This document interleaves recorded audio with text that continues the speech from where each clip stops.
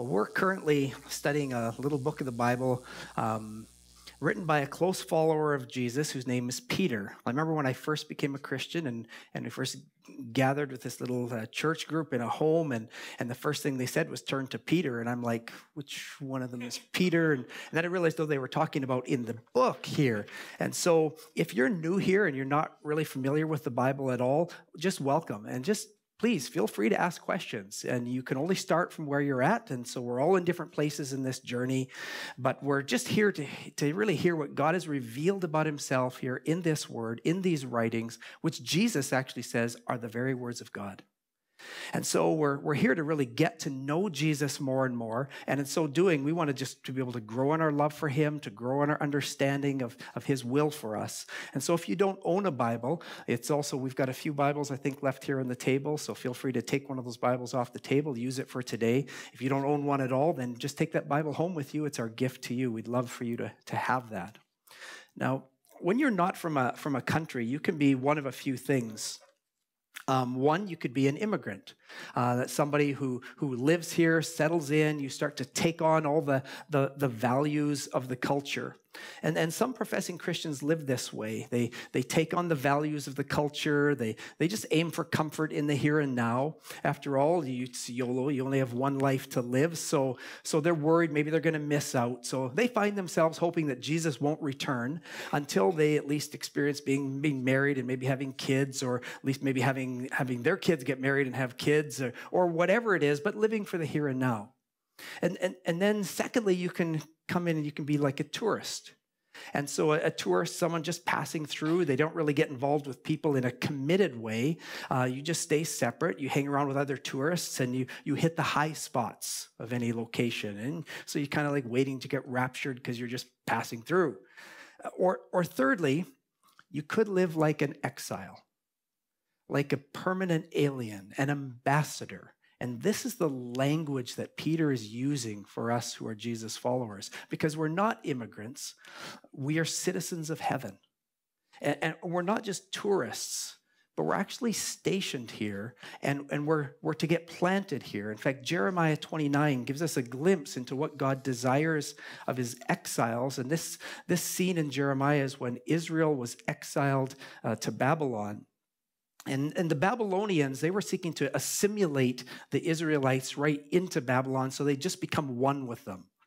But the prophets of Israel, but we learn from Jeremiah that actually they're false prophets and they're not actually saying the things that God uh, called them to say, but they were declaring, no, stay outside of the city. Don't have anything to do with it. It's a wicked, idolatrous uh, place. God's going to destroy that wicked city. So just stay on the outskirts. In other words, just disdain the wicked city of Babylon. But Jeremiah, the true prophet of God, he actually says both those groups are wrong. In Jeremiah 29 4, we read, it says, Thus says the Lord of hosts, the God of Israel, to all the exiles whom I've sent into exile from Jerusalem to Babylon. Build houses, live in them, plant gardens. He tells them to move in there, marry, uh, get settled in. You're going to be there permanently, he says. But verse 7, he says, But seek the welfare of the city. That word welfare is the word shalom.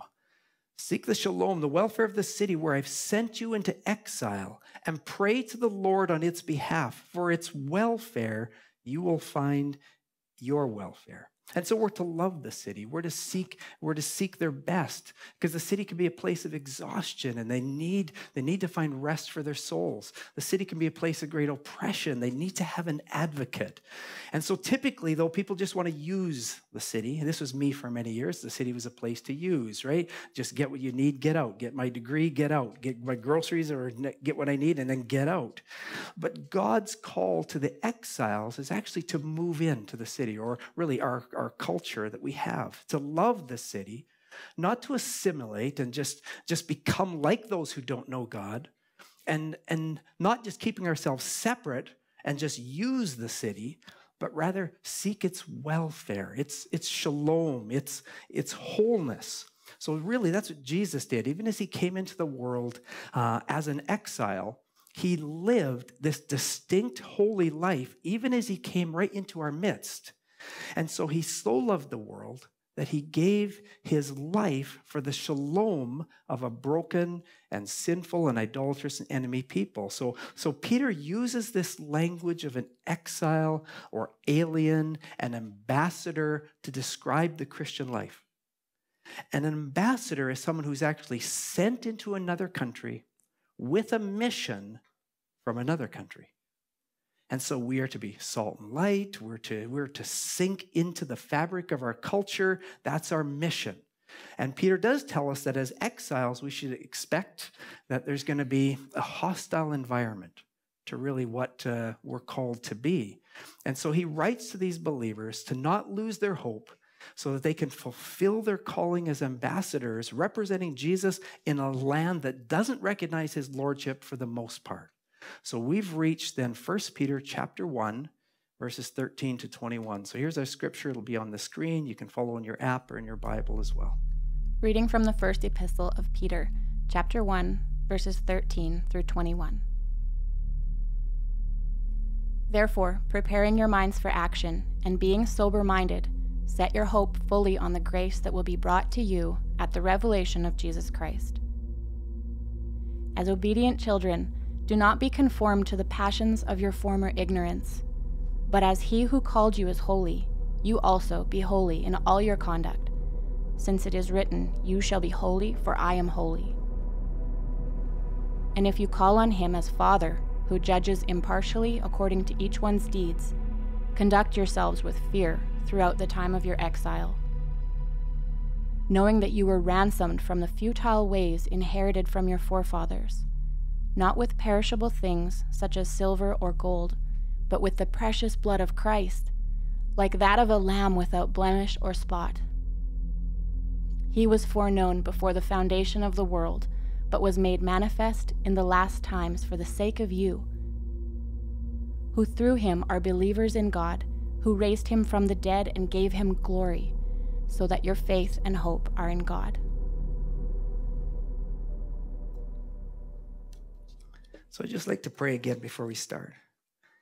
Heavenly Father, I just want to thank you for your grace. And I just ask for, for that grace now, even the Lord, just keep my voice, keep my mind at this point, just to be able to uh, serve serve everyone here well. We want to look and see Peter's message, what it is he's saying to us, what it is you are saying to us through him. So, Lord, would you just help me to do that well? In Jesus' name I pray. Amen. So, First Peter chapter 1 verse 13. He starts out, therefore, preparing your minds for action. Now, the Greek there is literally gird up the loins of your mind for action. Now, most of you have never girded up your loins. So you're not sure maybe what this is saying. But you have to remember, back then they wore robes, and they would have been longer robes. And so to do battle, what they'd have to do is take up the bottom edges of the robes, tuck them into their belt, and kind of make these makeshift shorts. I know kind of like sumo wrestler shorts, but they were shorts nonetheless. And so why did they do this? Right? Because if you're going to go into battle, and you need to you're going to have to uh, move. They would do this so then they could run so they could move quickly. And so if you're going to do battle you're going to have to exert your mind is what peter's saying. You're going to have to think. You're on a mission. And so what goes on between your ears is crucial. And so if your mind is sluggish if it's robed then you're not going to be ready for the action of the battle the mission. And so he says Prepare your minds for actions. Gird up the loins of your mind. And being sober minded, he continues. In chapter 5, in fact, Peter's going to bring out the fact that we have an enemy, an adversary, Satan, who walks about like a roaring lion, seeking whom he may devour. And so we need a clear, alert mind at all times, he's, he's, he's telling us. Ever, ever been at a function uh, talking with a drunk? You, they don't tend to spoke, you don't tend to leave that conversation with a great deal of valued wisdom right? That's not typically what you're going to get. You may get a shower of slobber a little bit as they talk too close but that's what you think. So this call is to be sober minded because it means the christian's thinking is to be free from from external outside influences. It's to be not under the influence of a foreign substance such as false ideologies worldly thinking. It's to be totally in touch with reality. And so we want to be thinking clearly. First of all, Peter says, so that we can actually see our hope. In fact, this is the very first command in 1 Peter. We've gone through all these verses. There's, there's so much here to unpack, but this is the first time Peter actually gives them a command. And he says, Set your hope fully on the grace that will be brought to you at the revelation of Jesus Christ. So set your hope fully on this inheritance that he's been talking about that we have earlier in the chapter. So when the devil whispers, You don't measure up, you agree, but you set your hope fully on the grace of this gospel, on the merits of another. And that's good news. So in verse 14, when he says, as obedient children, so it's being a child of God, really, that's the motive for not being conformed to the self centered desires of self autonomy, self rule. You've been born into the family, he said. And he's been saying this since verse 3, right? He's caused us to be born again as a new child in a new family with a new father that we love and we want to honor. And so this becomes our identity. We're identified as obedient children because it's in Christ's obedience in which he sees us. That's good news. Before, we didn't know the love and grace of Jesus. We didn't know the great inheritance that we, we, we share with him and because of him. But now that we know, our passions have been opened up to just a whole new reality. In our former ignorance, the way he describes it, right? That's when we dabbled in and pursued sin, not realizing it was actually destroying us and destroying others. And so we didn't look at the glorious inheritance at the, that would be ours at the coming of the revelation of Jesus. We didn't look at life through the lens of eternity, but rather we just looked at the moment, right? We lusted for the temporary. And then comes the call. The proper response to our new status, really, as children. And he says this in verse 15 But as he who called you is holy, you also be holy in all your conduct, since it is written, You shall be holy, for I am holy. Okay, that's a pretty big command there. Well, so first, let's talk about what holiness is. We've already got kind of introduced to it in the video. And then we want to look at what our response should be. And then finally, how is it we can obey this command? So, what holiness is? Well, the word holy, as we, we saw in the video, is, comes from a word that means to be separated. It means to be set apart. It's to be unique. Absolutely unique. See, Israel, they got in trouble when they started to think of God casually, like he was just a slightly higher version of them. But God is not that, right? He's not just a slightly bigger, slightly smarter version of us. He is totally unique. He is different. And you see this in Job, where, where God basically, in talking to Job, says, When you create your own universe, let's have a conversation. Or Isaiah 55, 8 and 9 says, My thoughts are not your thoughts.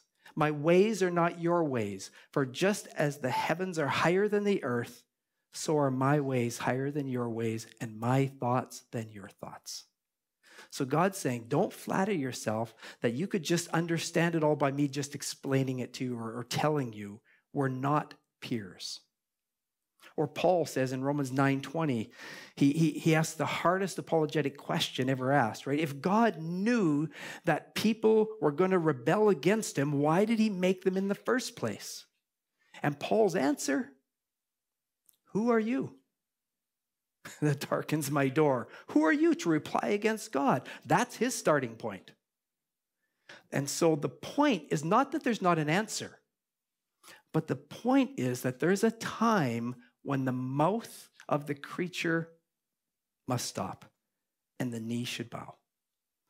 And I'm not talking about checking your brain at the door and just believing things naively. I am saying that if this is God speaking, though, that we have to realize we're, we're talking to the uncreated who is so far above you in every capacity. And so that has to be the starting place. He is holy, holy, holy. In fact, in the absolute sense, only God is holy. And other things only become holy as a result of their connection to Him, the Holy One. And you take even a shovel, take a shovel that was just used for shoveling ashes in the temple. What did it become?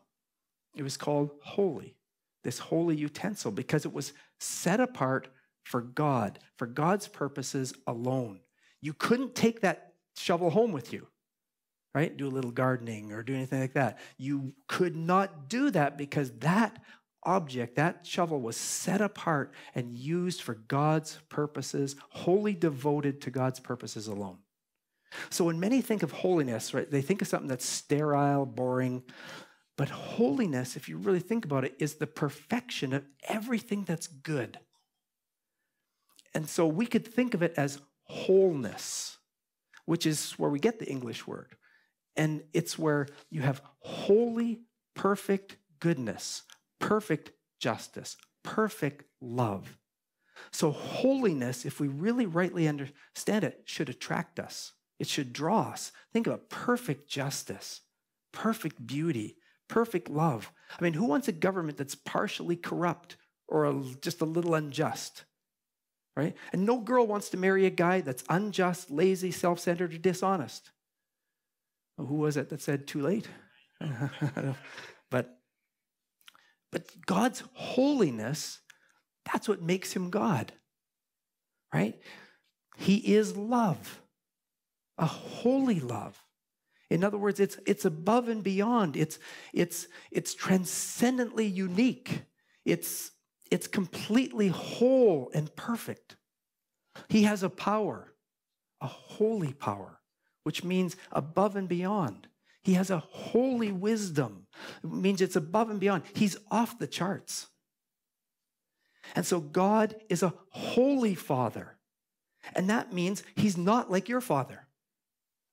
He is above any father you could ever possibly know. His love is pure, it is whole, it is perfect, it's complete. And that leads to another magnificent thing, the most magnificent thing I find about God's holiness, which was brought out in the video as well, which is when Jesus, God's holy Son, came to earth, his holiness did not destroy us, but actually healed us. Jesus, who was holy, he touched unholy things, unclean things, and they were cleansed. Because normally, right, when clean things touch unclean things, the clean things become unclean. Right? My wife has a cold. I'm lying in bed next to her, right, listening to her cough. There's no chance my wellness is going to make her better. But there's a real chance her sickness will make me sick, right? Thanks, Cheryl. but with Jesus, it worked in reverse. His holiness was not defiled by us, His holiness healed our unholiness. Isn't that something? The greatest display of God's holiness was not in his separating himself from us, but actually his entering into our sin, our corruption, and taking it upon himself and putting it away forever. And so, as obedient children, he says, Be holy for I am holy. And so the life we live should really be reflective of the, the God and Father you love. Actually, I guess it already is. It does. The life you live is reflective of the God you love or what or who you truly worship. That's sobering because that means our behavior actually reveals what we really believe. So and putting God first is not simply having God at the top of our list of priorities. I mean, imagine. Imagine if I said to my wife, you know, of all the girls I'm romantically involved with, you're my fave. You're number one on my list, right? No, she gets her own list, right? And she's not just number one, she's the only one on it. And, and God does not want to be number one on your list. God gets his own list. No one else in your life created the universe you live in and died for your sins. Jesus is not your co pilot, he owns the plane. He's not your BFF, he is holy. He's holy. Our worship of God, it should be on a whole different plane, right? I sometimes get disturbed seeing how, how some people express their worship of God, especially when I see what the scripture says. Because I look here and I, I see all over, like, clap your hands, all you people. Not clap your hands, some of you. Clap your hands, all you people. Shout unto God with the voice of triumph. Or as the ESV says, shout to God with loud songs of joy. You know, this becomes that, that expression of things. Psalm 35 talks about those who delight in my righteousness shout for joy. First Timothy 2, right, in the New Testament says, I want men everywhere to pray, lifting up holy hands. Psalm 134, lift up your hands to the Holy One and bless the Lord, praise his name. These are commands, right? I've read every command on worship, and none of them say, stand in a subdued manner with your coffee cup with a bored look on your face. I haven't found it. And some will say, well, that's not my personality. But I don't see anything in those verses about personality. Clap your hands, a few of you people don't see that. Or, uh, but I don't, really don't feel like it. Oh man, I got this head cold. Do you think I feel like being here? But I, I do, yeah. you know, but I mean, part of me is thinking, oh, I'd rather have my head in a bed right now and a steamer going on there, yeah. But but I don't feel like it. That could be true. But he's worthy of it. He's worthy of it. So you don't worship based on how you feel, but on what he's worthy of. And so let me give you a secret. Our hearts sometimes follow our posture. Now we know that worship is not just a song, right? It's it's it's a life given to God. Romans 12, 1 talks about that. But in singing the gospel truths to one another, which is what it says we're, we're doing in the scripture, we're singing, uh, making melody in our hearts to the Lord. We're singing one to another because what we're trying to do is we're trying to awaken one another's hearts, awaken our own hearts to the reality of Jesus and who we are in Him. And I think this is part of, girding up the loins of our minds with this truth right? This is sobering our minds to really do the battle of to battle against the lies, the deceptions of the world, so that we can then run into obedience. That becomes the, the heart of that because our minds can get intoxicated with something else other than Jesus. Some of you are intoxicated with the desire for someone who's not your spouse. Some of you are intoxicated with the desire for a spouse so that you can be loved by someone. Some of you are intoxicated with the desire for people's approval. Some of you are intoxicated with the lust for money so you can get the comforts and all the toys you want.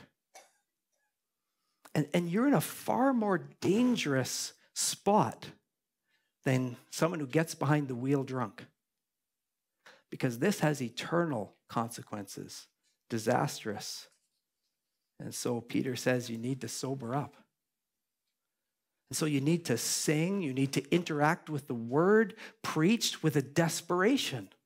Says we need to come with a desperation to, to God, right? And so that's what this raising your hands to God is just in desperation for the truth. Lord, just please, I need you. Awaken me to the reality of who you are, right? And then we get the reality that I have a spouse. His name is Jesus, and he's loved me with an everlasting love.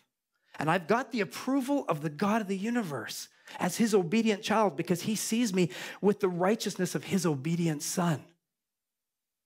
And I've got an eternal inheritance that no one and nothing can take away.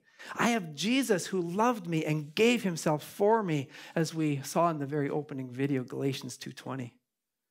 So, man, clap your hands and shout, sing desperate, because so that we can leave here with sober minds and the loins of our minds girded with the hope and truth of who we are in Jesus.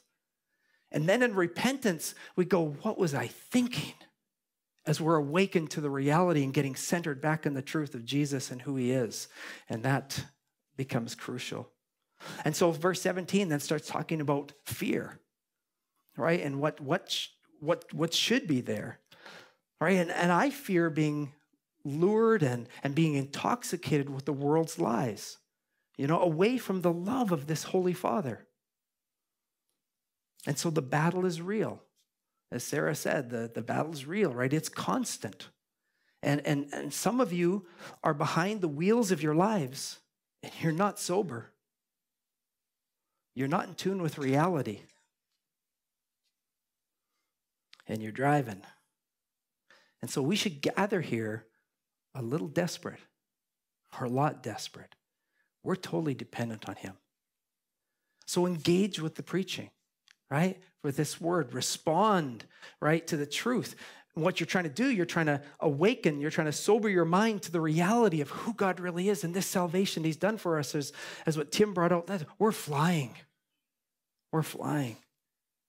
So we're trying to awaken our own minds and waken up the minds of our brothers and sisters to the reality of Jesus and his gospel. And because we all come here a little drunk with robes down to our feet.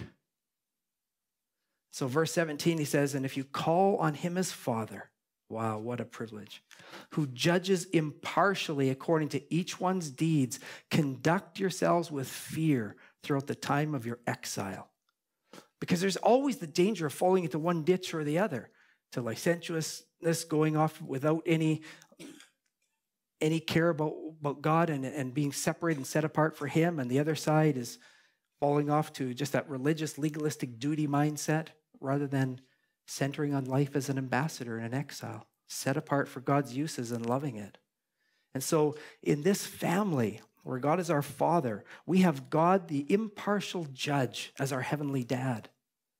And, and that means if he's the impartial judge, that means there's no favorites, right? I mean, uh, people will come and they'll, they'll want sometimes a pastor to pray for them, as if I've got some sort of special in. Well, I'm not the favorite son. I don't have a coat of many colors, right? Jesus is the favorite son, right? And he set aside his favored position and his coat was not just smeared with animal blood so it looked like he was dead, he really died. And he gave his life. That's his blood that was on his robes. He was killed. He truly yielded up his life, right? So his own blood was given in sacrifice so that I could have favor as I'm connected to him. I could be viewed by God as his obedient child and have full favor. Verse 18, and here's why. Knowing that Here's why because knowing that you are ransomed from the futile ways inherited from your forefathers, not with perishable things such as silver or gold, but with the precious blood of Christ, like that of a lamb without blemish or spot.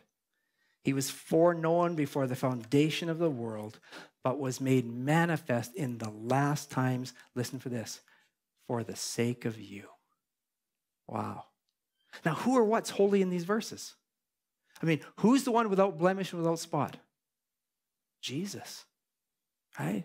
And so when the Bible speaks of being ransomed too by the blood of Jesus, not just referring to the fluid that ran in his veins, but it's referring to his death, that violent sacrificial death of crucifixion given for the sake of another, for the sake of you, he says.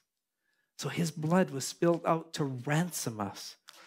If my unholiness looked upon God, I'd die. But Jesus took my unholiness upon himself. He looked into the face of God and died in my place. And then Jesus' holy righteousness given as a gift. Given as a gift. And so now we stand as holy obedient children, without blemish, without spot. Wow. All because our sins have been washed away in his precious blood. He calls it precious because that's what you say about something that cannot be replaced. There's no other way. Jesus was wholly devoted to us, and that's why we're called to be wholly devoted to him. And so these verses really give us the motive for our holiness. And whenever the word holy is used of created things, like we, we said, it refers to being separated unto God, to be, to be set apart, to be wholly devoted to Him and His use. And so we're holy uh, to the degree that we're completely and totally devoted to Him, which means there's no area in our life that, that uh, does not belong to Him. And so we see here's our motive what motivates the blood of Jesus, the precious blood of Jesus that's ransomed us. That's what motivates us to holy living, to being wholly devoted to God because we're ransomed. Somebody paid a tremendous price to get us out of a predicament. And when I perceive the ocean of love that Jesus showed me at the cross, where he shed his blood in a willing sacrifice in my place, because apart from that redeeming act, I'd perish in hell forever and I deserve it. But Jesus wholly set himself apart for me, for my redemption. And that's my motivation for setting myself wholly apart for him, for his use. I belong to him.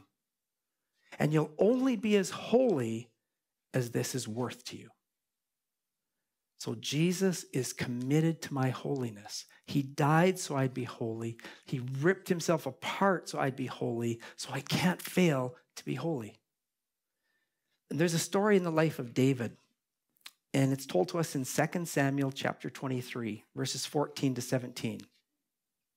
And in this scene, in this uh, portion here, you've got the Philistines, who are Israel's enemies, and they they've taken over Bethlehem and they've got a bunch of soldiers are stationed there and david's on the run. So david is an exile.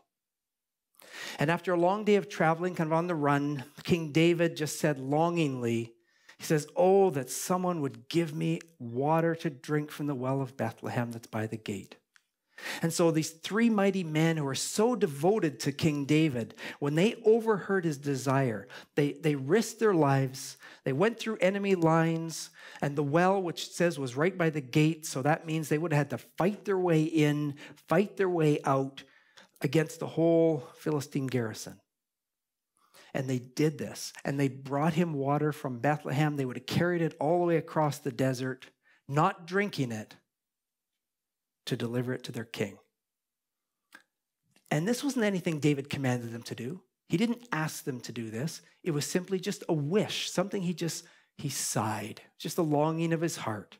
But but being wholly devoted to someone means you want what actually delights them. You, your heart pursues what their heart pursues. And so this goes beyond just rules and commands. It's about love and devotion and an orientation of the heart that just asks, How much can I do for this king? What are the desires of his heart? And so these men, they present then the water to David. And what's David do?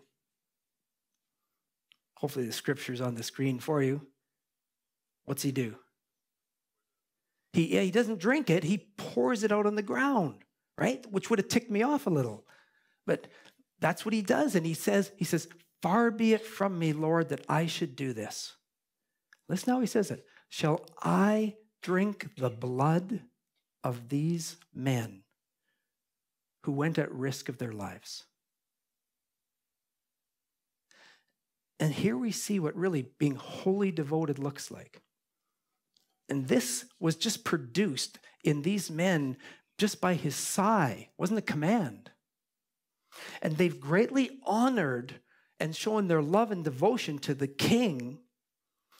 And so we, we see that David, though, is saying something too. And he's saying, I don't have the right to that kind of devotion. It's to go to David's greater son. To him and to him alone, you give the water of your spontaneous love. Because David knew he didn't have the right to it. Now, some of you have your lives messed up because you're bringing the water of your devotion to a human being or something other than the one true, all satisfying God. You're bringing it to someone who doesn't have the godliness to pour it on the ground and say, I don't have the right to it. The only one we should be wholly separated to is Jesus. And of course, Jesus is not just David in this story, he's also the mighty men who's so devoted to us. He is that warrior king, that mighty one. He hears our sighs. He goes up the hill and he fights his way through the enemy lines to bring us the water of life.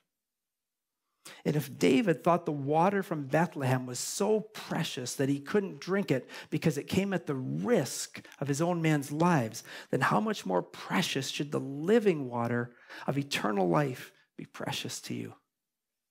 Because it didn't just come at the risk of his life, but at the price of his life. Jesus fought through the enemy lines for us to bring us the cup of the new covenant through his blood, what he accomplished on the cross. And now, this one who was born in Bethlehem holds out to us living water, the offer of eternal life. At one point, Jesus had said to the crowds, he used this language, I think it's in John, I can't remember if it's chapter five or six, maybe it's neither, but he tells them, Unless you drink my blood. Strange words, isn't it? But look at the reference to remember what we saw in Samuel. Unless you drink my blood. In other words, he said, I'm not going to benefit. I, I can't drink this water because I'm not going to benefit, take benefit from what they paid or the risk or the cost that they had. So when Jesus says, Drink my blood, he says, Unless you take and receive the benefit which Jesus achieved for you, you can have no salvation. And you're not worthy. But Jesus says, Drink it. Don't pour it out on the ground, right? Jesus says, Drink my blood. And now people get hung up because they get lost in the literal. But he's trying to get this metaphor picture. What he's saying to drink his blood is to receive the benefit for which he didn't just risk his life, but for which he gave it. And Jesus says, Take that for which I've paid the price, and you have it freely, for which I was pierced through with many wounds because of my devotion to you. And so now he says, You be wholly devoted to me. Be holy, for I am holy. And so we see this great devotion. And David's men, right, they felt that way about him because they knew how he felt about them. He poured it out because he was not worthy of such devotion, but there is one who is. And Jesus didn't just honor us by pouring out a cup of water on the ground, he poured out his lifeblood on the ground for us. He was wholly devoted to us. And our hearts should just rise up and be wholly committed to him. If this is how wholly committed David's men were with him, then how much more should we be holy with Jesus? So when someone makes a statement like, you know, um, well, how much do I have to give? Well, I know they don't really get it yet. Because how much do I have to give is not the question that comes from love. It's how much do I get to give is the question of love. And we ought to hear the sigh of his heart. God, you love for the you have a love for the lost? Then then let me go after them. Jesus, you love the church? Then let me serve her. Let me serve her. To be holy doesn't mean to be perfectly obedient. That, that's not going to happen until resurrection. But to be holy means to be completely submitted in the sense of saying, I take my hands off my life. I give you the rights to every part, every area of my life. I can't keep you out of anything because I belong to you. I am set apart for your use. So to be holy is to wholly belong to God to be wholly devoted to Him and His desires because He is wholly devoted to us. Do we have any questions? Praise God for that teaching video, which helped answer a lot of questions on holiness. Well, we're going to break bread together and call up Cam and and where we really are remembering, right, the great cost, the precious blood of Jesus that was spilt out for our ransom. And that's what moves us to holy living being set apart for God's use, for His purposes, committed to His church, committed to His holy mission to genuine love, which Peter goes to unfold as Brett will tell us about next week.